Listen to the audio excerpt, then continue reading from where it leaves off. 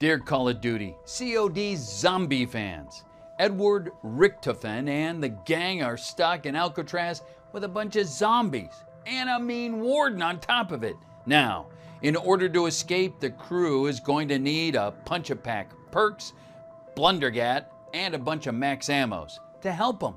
All they need is your credit card number, the three digits on the back, and the expiration month and year. Now hurry. The rounds are getting higher and higher, and the zombies are getting tougher and tougher. Let's move!